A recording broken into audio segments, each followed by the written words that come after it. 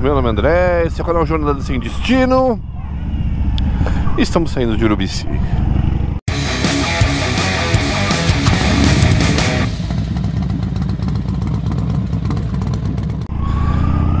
Que é uma pena, porque tem muita coisa que eu não consegui conhecer aqui, né? Muita coisa que eu não consegui visitar. Pedra Furada, Cachoeira, Morro da Igreja. Mas apesar de não ter conhecido tudo, eu saio daqui bem tranquilo.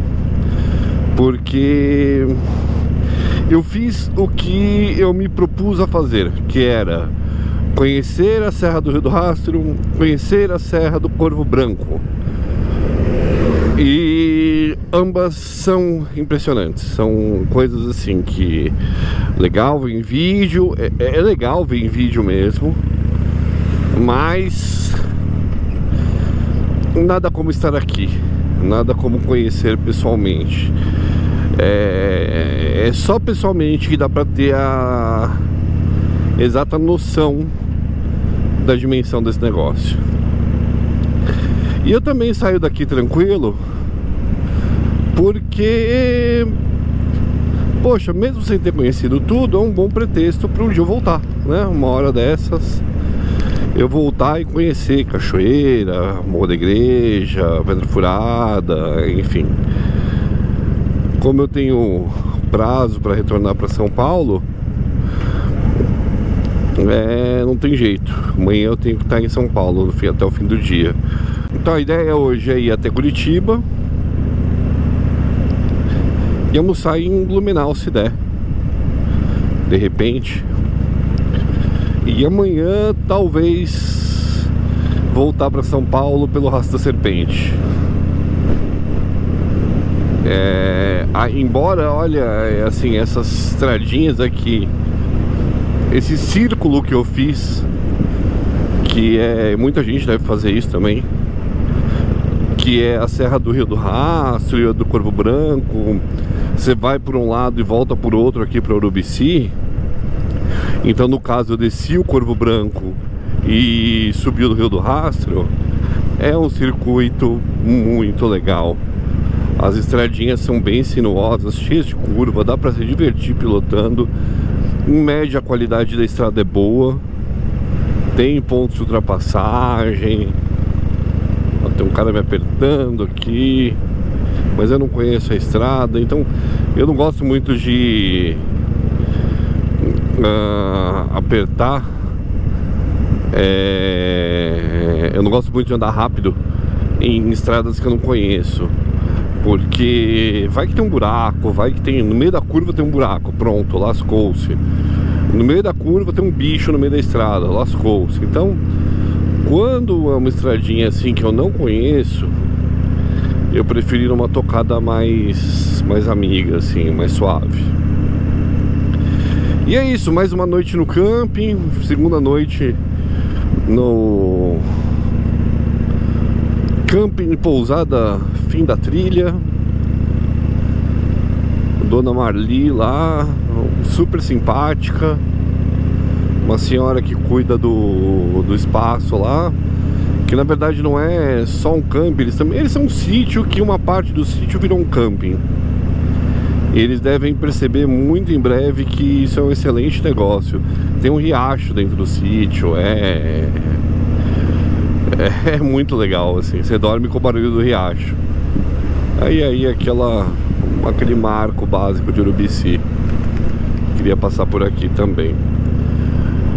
E é isso, então valeu muito o camping, foi muito bom, dormi bem. No sítio do lado essa noite estava tendo tipo um bingo, então o pessoal ficou meio gritando até meia-noite.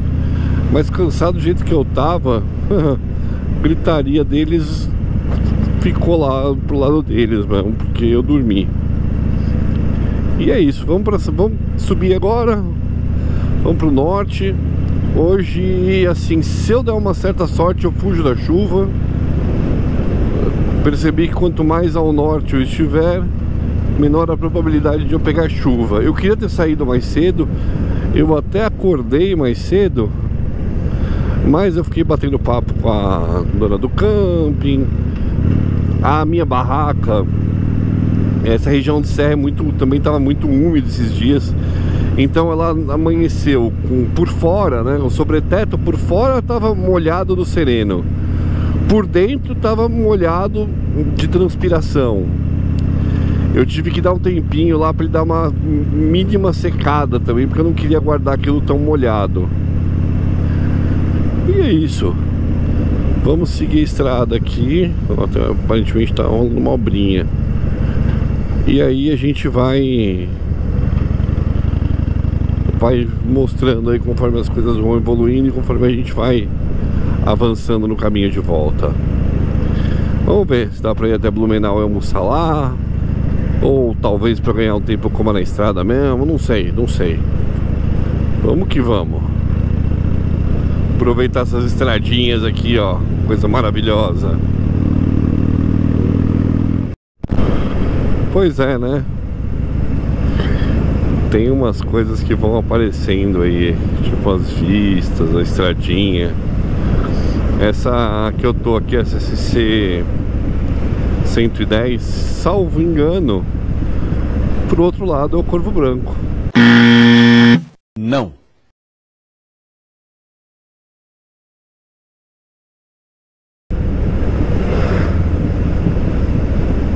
Ninguém.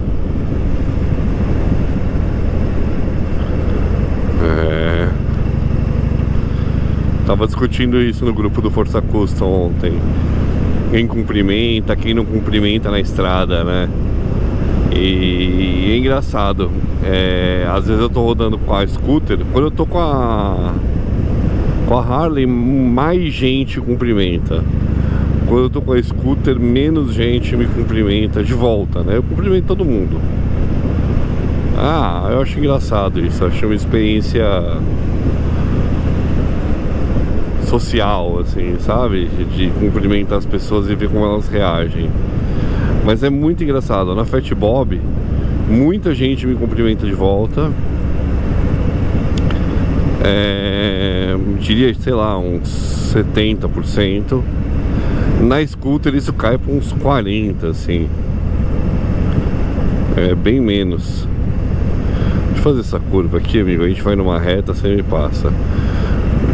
Aqui, ó, por exemplo, não dá porque eu vim no caminhão. Mas aí eu dou uma encostadinha e dou uma reduzidinha. Aí vocês passam. Vai com Deus. Mas é interessante isso de cumprimentar. Como quando eu tô com a scooter, a taxa de, de retorno dos cumprimentos diminui. Sei lá. Eu acho assim, tem gente que não cumprimenta porque. Sei lá, o cara não, não entende isso tem isso. Eu acredito que exista isso. Eu acho que eu já deixei de cumprimentar pessoas de volta porque eu tô com a cabeça em outra dimensão. Isso também pode acontecer, né? Ou então o cara simplesmente olha e acha que isso, sei lá, ele não gosta de cumprimentar, acha que isso tem alguma. Sei lá. O cara não quer. Ele não cumprimenta porque ele não quer, pronto, né? Mas beleza, eu, eu acho legal, eu acho bacana esse negócio de cumprimentar Porque dá uma, uma animada às vezes, né? Você vê o pessoal passando, um grupinho Os caras te cumprimentam, dá um ânimo assim às vezes É legal, é legal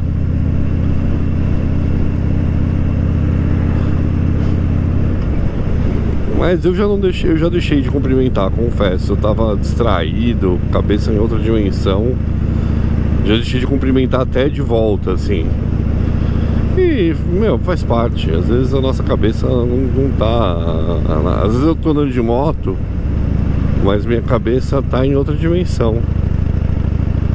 É, eu tô prestando atenção no que eu tô fazendo, tô pilotando conscientemente, mas tudo dando aquela devagada. É isso aí, faz parte. E aí, o que vocês acham desse lance de cumprimentar? Comenta aí. Tem que cumprimentar todo mundo? Não tem? Cada um faz o que quer?